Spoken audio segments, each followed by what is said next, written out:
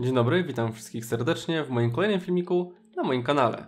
Dzisiaj chciałbym poruszyć dość istotną kwestię, mianowicie chciałbym troszeczkę porozmawiać o Gothicu Remake. Mianowicie ostatnio ogrywałem sobie wszystkie części, zaczynając od Gothica 1, przechodząc przez trójkę, Arkanie, a nawet ogrywałem sobie Gothic Playable Teaser i doszedłem do pewnego wniosku. Doszedłem do wniosku, że Gothic Remake nigdy nie będzie grą 10 na 10. Dlaczego? Przeglądajcie się sami oglądając ten odcinek. Serdecznie zapraszam. The kingdom of Mertana, united by King Robar II. During the long years of his reign, he was able to defeat all foes of his realm. All except one. The war against the orcs took its toll, and the prisoners of the realm had to pay the price.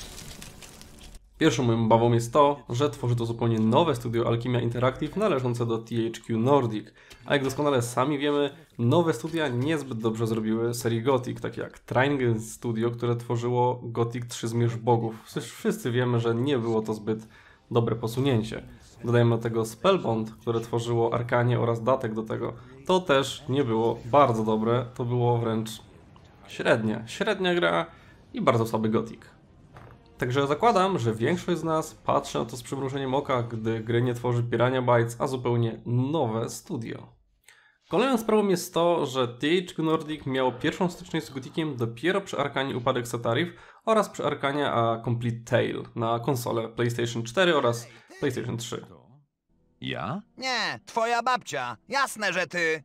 Na twoim miejscu nie szedłbym dalej. Dlaczego? Widzę, że jesteś tu nowy, co? Stary, ta droga prowadzi na ziemię orków. Zrobią z ciebie kotlety. O, Nie ma za co. Także te obawy mogą być słuszne, gdyż jak sami wiecie, Arkania nie była dobra, a już nawet nie chcę wspominać o dodatku do Arkanii, która była wręcz tragiczna. To było bardzo ciężkie doświadczenie. Zresztą kto grał, ten doskonale sobie z tego zdaje sprawę. Rodzi się również pytanie, czy to nie czasem ta starusieńka oprawa graficzna dawała ten cudowny, brudny klimat kolonii karnej, tego miejsca zawszonego, okropnego, które dawało nam tą atmosferę taką, taką wręcz nietypową. I wydaje mi się, że to właśnie ta oprawa wizualna to robiła. Czy nowa grafika, zaawansowane modele, tekstury, cudowne oświetlenie nie sprawi, że nowy Gothic troszeczkę utraci na, tym, na tej surowości? Cóż, przekonamy się prawdopodobnie sami już niedługo, gdyż w tym bądź następnym roku. Dodajmy do tego te takie cudowne, klasyczne dźwięki, które nie brzmią w żaden sposób realistycznie, a brzmią tak jak typowo na grę fantazy. I to właśnie było dobre. Czy zmienienie tego na bardziej nowoczesny sposób, na zrobienie tego w bardziej lepszy, realistyczny sposób, y, będzie, będzie, będzie dobre po prostu. Czy to sprawi, że Gothic Remake zyska wręcz na jakości, sprawi, że będzie lepszy, czy dla fanów serii, czy dla nowych graczy? Tutaj się rodzi pytanie, dla kogo ta gra w ogóle jest tworzona? Jak doskonale wiemy, Alchemia będzie chciała uderzyć w zarówno starych graczy, fanów takich jak ja czy wy, oraz zupełnie nowych graczy, którzy jeszcze nie mieli styczności z tą serią. Kolejną sprawą, kolejnym znakiem zapytania są nowi bohaterowie oraz rozszerzenie terenu Górniczej Doliny. Czy to będzie dobre? Czy nowi bohaterowie wpłyną jakoś na odbiór tej produkcji? Czy rozszerzenie świata i ponowne błądzenie sprawi, że będzie nam się lepiej grało, nie znając zupełnie tych wszystkich terenów? Wydaje mi się, że są tego plusy oraz minusy. Plusy są takie, że gra zostanie znacznie wydłużona, będzie ciekawsza, zapewni nam zupełnie nowe doświadczenia z rozgrywki. Z drugiej strony będziemy czuć, że hej, tego kogoś tu nie było, nie powinno tu być, czy tak to powinno wyglądać. Wolałem jak było, kiedy tego nie było. Uważam, że nowe postacie oraz rozszerzenie terenu są potrzebne, gdyż Górnicza Dolina jest malutka. Pamiętamy ją jako ogromną kolonię, ale to już nie, to nie jest prawda. Kolonia górnicza jest bardzo mała.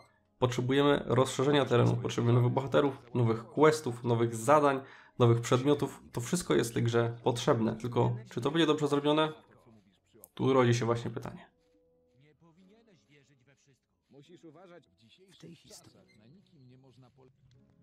Kolejnym ważnym pytaniem jest to, jak duże zmiany fabularne będą w rozgrywce.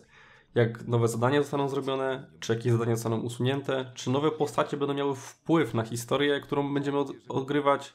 I to, jak to twórcy stworzą, musi być dobrze zrobione. Aczkolwiek fabuła musi przejść zmiany. To musi być dłuższe, gdyż pierwszy Gothic starcza na 10 do 14 godzin, w zależności od tego, jakie tempo mamy. Zakładam, że wielu z Was ogrywało modyfikacje do pierwszego czy drugiego Gotika i Wam się podobały. Mnie również, więc wydaje mi się, że takie zmiany będą dobre. Wielu z Was pewnie grało w Kroniki Myrtany, które zostało umiejscowione w zupełnie nowej lokacji, jakim była Archolos, nowy bohater. I to było dobre, więc wydaje mi się, że stworzenie nowych bohaterów, zmienienie fabuły wyjdzie tej grze no dobre. Najważniejszym jednak pytaniem jest to, jaki będzie dubbing. Wiemy, że będzie polski, jednak czy zostaną ci sami aktorzy? Jacek Mikołajczak jako bezimienny, Adam Bauman jako Diego i wiele innych bohaterów jak Lester, Gorn, Milton Lares. Czy oni będą mieli dalej swój dubbing? Czy zostaną oni zmienieni? Xardas, Koristo, Saturas, Gomez. To są wszystko klasyczne postacie. Zmiana ich głosu wydaje mi się, że nie wyszłaby na dobre. A nowe kwestie muszą zostać nagrane poprzez poprawę audio, nowe dialogi, które zostaną prawdopodobnie im dodane, zmienione dialogi. Jeśli jakaś postać bardzo ważna dla fabuły będzie miała zupełnie inny głos, wydaje mi się, że nasz odbiór gry może być troszeczkę gorszy niż w przypadku tego, jeśli byłby to oryginalny dubbing. Także trzymajmy kciuki, aby w naszym kraju dubbing znowu był tak dobry jak w pierwszej i drugiej części. Czego ode mnie chcesz? Jesteś tu nowy, co? Od razu zauważyłem. Musisz się jeszcze wiele nauczyć. Mógłbym ci pokazać, co w trawie piszczy. Przede wszystkim musisz uważać, z kim rozmawiasz. Widzisz tego faceta tam, przy ognisku? To bacz. Strzeż się.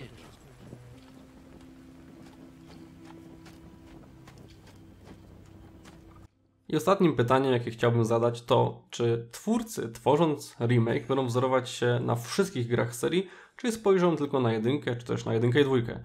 Ja osobiście uważam, że tworząc remake powinni patrzeć na dwie pierwsze części, gdyż one są ze sobą najbardziej spójne i branie pomysłów z pierwszej i drugiej właśnie będzie jak najlepszą decyzją.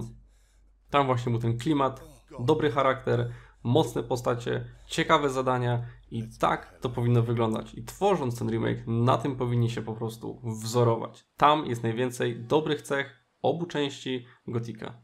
Rozwój bohatera, świat wykreowany, sekrety, ciekawostki. To wszystko było perfekcyjnie zrobione w tych częściach i nie chcę, by to zostało zmienione. Pomimo wszystko uważam, że Alchemia Interactive zrobi bardzo dobrą grę. Czy idealną? Nie wiem, ale jestem pewien, że 7, 8 w skali do 10 na pewno dostaniemy i każdy z nas ucieszy się, że będzie mógł zagrać w Gotika w zupełnie nowych szatach. Nie można również zapominać o modyfikacjach do dwóch pierwszych części Gotika. One są niesamowicie ważne. Modyfikacje to integralna część społeczności tej całej serii.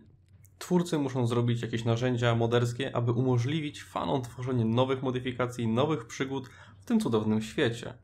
Dodanie warsztatu Steam byłoby idealną opcją, gdyż w ten sposób najłatwiej byłoby dodawać nowe modyfikacje, a każdy fan z łatwością by je znalazł. Tak jak to zostało niedawno dodane do pierwszej oraz do drugiej części Gotika na Steamie. Nie można również zapominać o naszym cudownym bezimiennym, który ma świetny charakter, chęci do walki oraz posiada niesamowicie wspaniałych przyjaciół i zawsze stanie za nimi murem. Nikt się nie zmienia i nie gada tak dużo jak w tym prologu, co dostaliśmy parę lat temu na Steamie. Tam mówił zdecydowanie zbyt dużo. Bezimienny powinien milczeć, być charakterny i walczyć do samego końca. Według mnie bardzo ważne były przerwniki filmowe w grze. Wiedzieliśmy, że nadszedł jakiś kluczowy moment dla fabuły. Było one zrobione na bardzo wysokim poziomie i czuliśmy, że robimy postęp, jest jakiś progres, coś się wydarzyło, świat się zmienia. Witamy w kolonii. Pytanie brzmi, czy Gothic Remake pójdzie w przerwniki filmowe, czy całkowicie się ich pozbędzie, robiąc tylko jedynie ciekawe ujęcia do pewnych scenek. Ja uważam, że przerwniki filmowe powinny znajdować się w grach, gdyż nadają one tego kinowego, filmowego klimatu i od razu polepszają wrażenia z rozgrywki. A co wy na ten temat sądzicie? Powinno się takie coś znaleźć, czy nie?